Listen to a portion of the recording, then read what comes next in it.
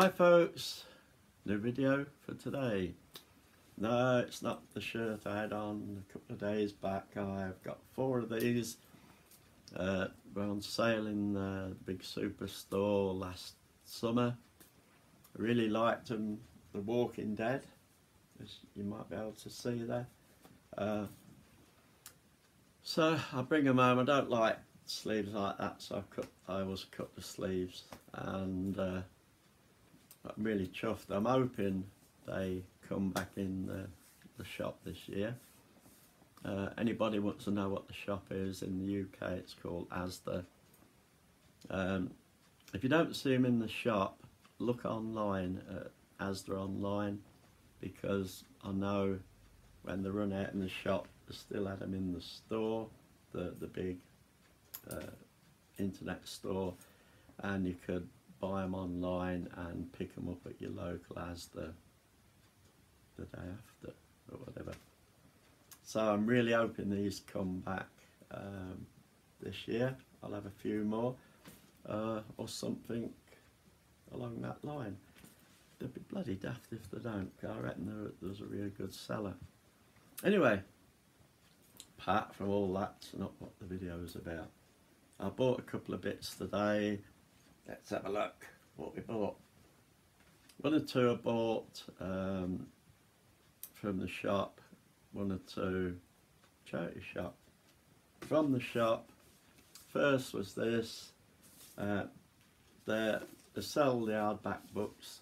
They're brand new, pound, pound. This one, I don't usually bother with books, but this one was uh, Darkness Becomes a, um, a bit evil, so I thought I'd give it a go. I'm not a massive reader of books. Um, this is the second bit. Pound for four carabiners. No, I'm not going rock climbing or anything. You can use them on your luggage to attach things and that, whatever you like. What am I going to use them for? I've used a couple before. I make these sort of things and uh, these if you look at that one they they hang really nice or the smaller ones hang nice on a, a neck collar and you can hang something onto those got something bloody mouth it's the remnants of the bloody chili hot dog I ate um, so yeah these are really good and this uh, is sort of in line with a the second part of the video how I adapt things for, for other bits. that was from a shop. Charity shop bought this. Uh, if you see it properly, one side or the other. Candlestick. If you listen, you might realise it doesn't particularly sound like crystals. And that's because they're plastic. Oh, plastic crystals. and this bit isn't glass, it's plastic. Which is handy because it's a lot bloody harder to break. But I love it. 50 pence. So you can't argue at 50 pence. Can leave it this colour, which fits in pretty well. Or do a usual trick and paint it black or any bloody colour you want. Up to you. But it was sitting there and 50 pence is too bloody good to walk away from. Is it not? So yeah, bought that. Um, just thinking, did I get something else from that shop? I did, but I can't really remember what it was. But it's a charity shop. 50 pence. Second, oh no, before the second part, this. Bought this today. Um, I walk past this shop probably every flipping day. Never going, it's a, it's a really old type record shop. Um, the, the sort actually that you expect to be a bit of a Aladdin's cave. and uh, I suppose I was thought it'd be a bit classical, which I don't mind. Um, some of the old stuff, which I probably wouldn't like and all that. So today I thought I'll go in and do some inquiry. So I went in, I'll put a picture up, I'll try and remember to put a picture up.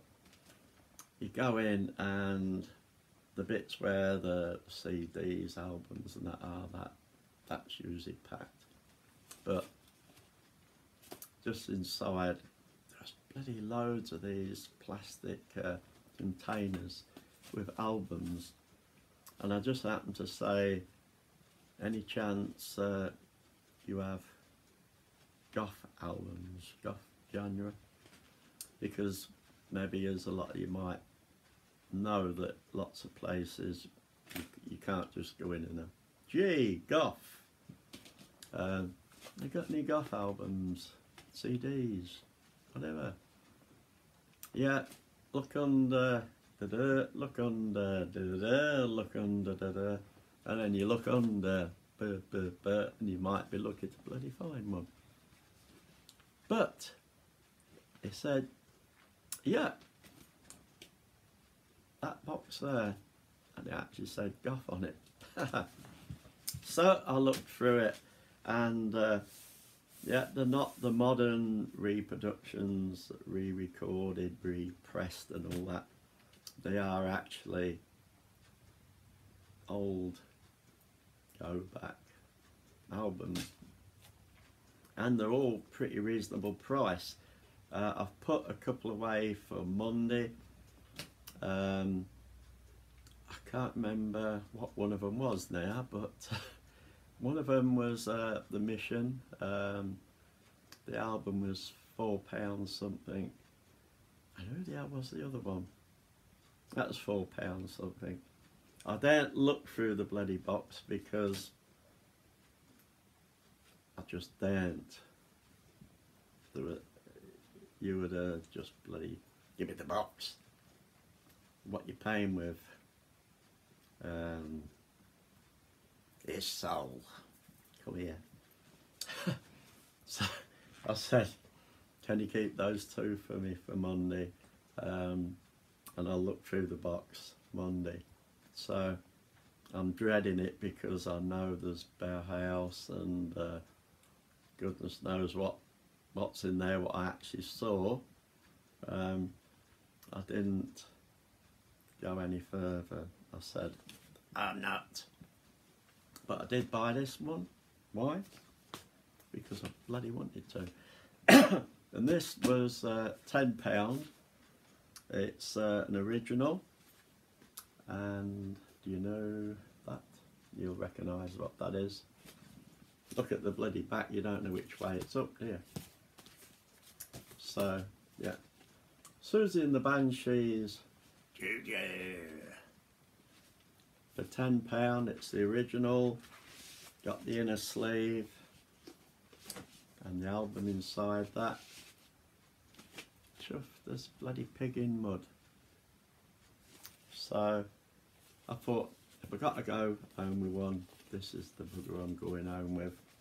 And uh, I shall look through that lot on Monday so if any of you's looking um, at this that lives in my hometown, you ought to get your bloody backside uh, along there if you're looking for goth albums or anything else. But freaking leave it till Tuesday after I've had a look. Alright? So that, yeah, that was the last of the buying. The next bits I just want to show you a few things of how I adapt uh, everyday bits into to maybe uh, what I'd call gothy uh, bits that make me happy that uh, I like having hanging around which I I would have probably thrown some of the bits away. Um, but why you know when you can do something with them and these are pretty simple that's why I picked some of these um, so I'll give you an idea of what I'm talking about. The first one is this. It's if you look at it that way, it's I can't remember what was in it, um, but I think it's I think it's a medicine bottle, and if I if by the looks of it, I've probably painted the cap black, stuck a label on it, which says earthworms. So in all intents and purpose, earthworms. So you can put what you like in it.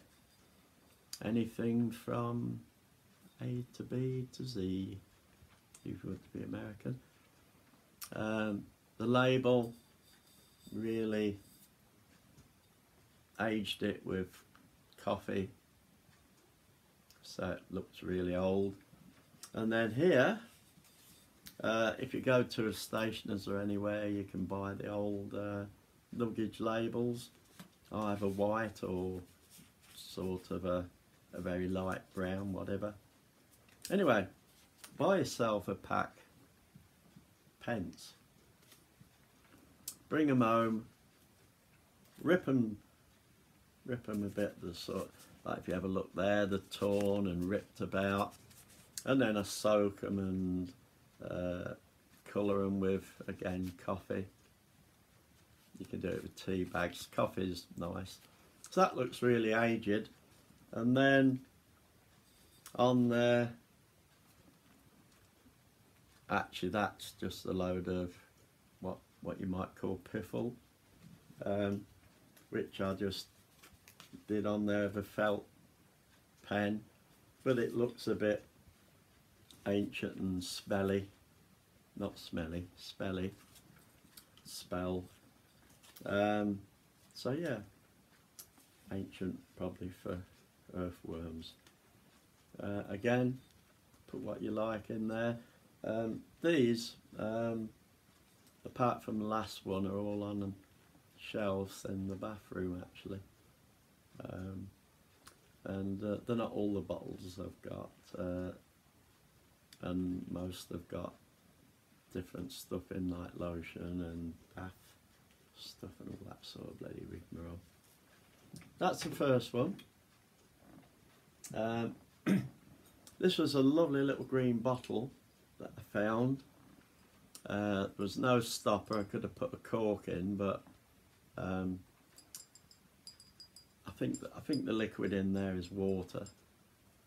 Um, and this at the top is just the glass uh, bead off a, um, a necklace and it's actually glued on because it's never going to be used. Round the top there's a bit of old twine with a little tiny key on it and on the label which I did with uh, coffee again. What's it say? Drink me. Drink me. Which looks bloody back to front on there so I'm hoping it's gonna look the right way round to you. Um, so yeah a little Alice bottle um, that she found. Drink me so there you go. Use any little tiny bottle even a smaller bottle. Uh, make an old label drink just write drink me on it. A little key because she's got to get through the door. Just a little novelty bottle. Next one um, there's a little jar that I come across which again would have been second hand and probably been about 20 or 30 pence or something. And in there it's full of uh, orange um, jelly beans. Jelly beans. And again uh, an homemade sticker on the front uh, done with coffee to age it. Just rip round the edges so it looks like it's old and had it. And what's it say gremlin seeds so gremlin seeds jelly beans. Now if you want to try one, be it on your own head. And then round the bottom is just, it was a, a long strip of uh, lace, fluted, just cut a strip and glued it round the bottom. So there's your gremlin seeds. And the last bottle, I come across this bottle and uh, I love the shape. Look at that shape. Um, it's got this little handle um, at this top on it. Um, again, I'm not sure if I painted that black. The little top to the bottle anyone that's in catering might recognise that. It's a, a chef's uh, jacket stud. Put it in, push it through and hold your jacket. So I was in catering so I had a few of these knocking around. On that there's a, a chain and the chain goes to the, the handle. In the middle of that chain there's a skull and crossbones. And again made up a, a really old label uh, aged it with coffee and wrote on it which is urine there's a bottle of it. But if we excuse me we take the top off have a smell. Oh, there you go. A smell. Whiskey. Scots whiskey. So yeah, the witch's urine is Scots whiskey. So if you can stomach that in a glass, you're okay. But it'll put people off nicking it. Um, to be honest, I put that in there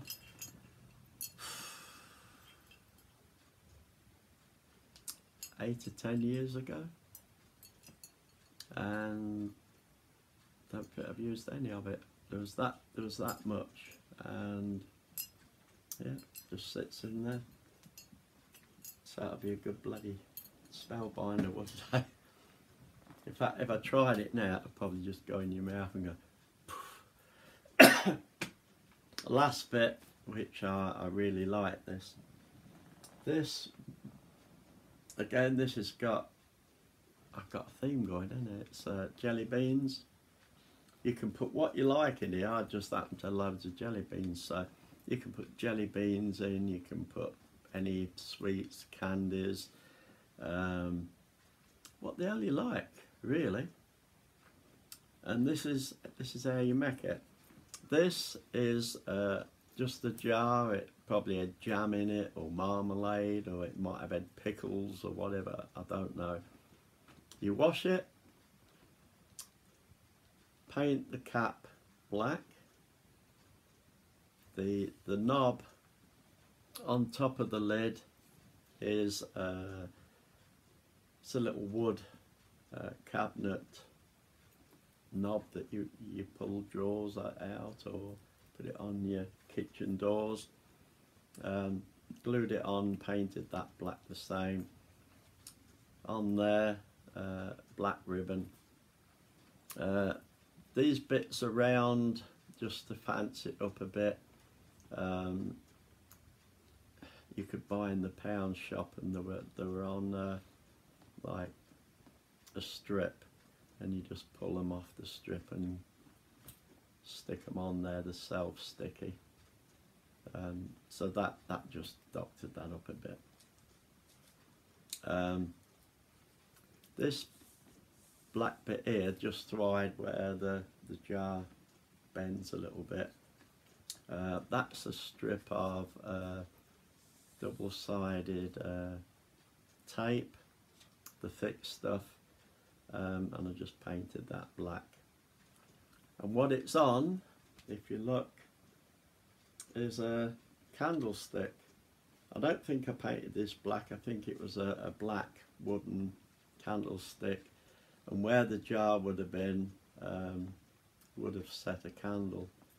So you get yourself a candlestick about that wide that fit a jar, glue any jar you want onto it,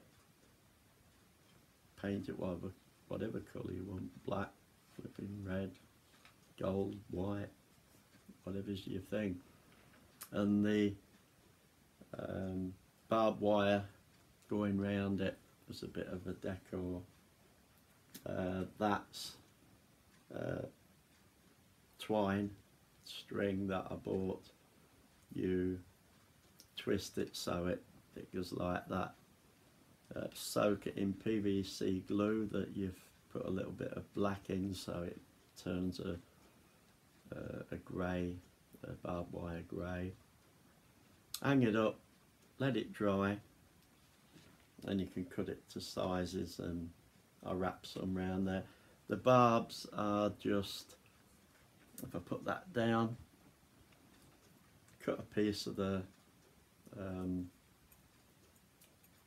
twine, dip it in the, the same stuff, wrap it round about three times and hold it like that. And if you, if you hold it long enough it'll sort of set itself a little bit. And then when it dries you've got the barbs on it as well. So yeah this is these are good little novelty um, trinket jars or sweets whatever you want to put in them. You can you can buy these candlesticks one, two, three size. So you can have tall one, medium one and a small one at the front. There's a set of three. Put them in the kitchen with things that you use in the kitchen. Put them in the hall with something like these in having them, have them in your living room with whatever is going to go with your living room. But it's another little idea. Put it back there. So, yeah, I thought I'd do that. I thought I'd just show you how I get little bits that yeah, you'd throw into the bin and uh, or like with the little jar you can buy for 20p or something. And with a, a, little bit of thought you can um, adapt them to whatever you want. So that's on the bottle theme really. Um, another video I'll show you bits that I adapt uh, from bit, bits and bobs and uh, turn into something totally different to suit my purpose. So folks there you go. Bits are bought bits I make and something I am going to flip and have really good fun listening to because I've got one of them things that will make it go round. So folks, have fun, go and listen to your music and have a look for your little record shops that are sitting in the middle of nowhere that nobody seems to know about with all the treasures have fun.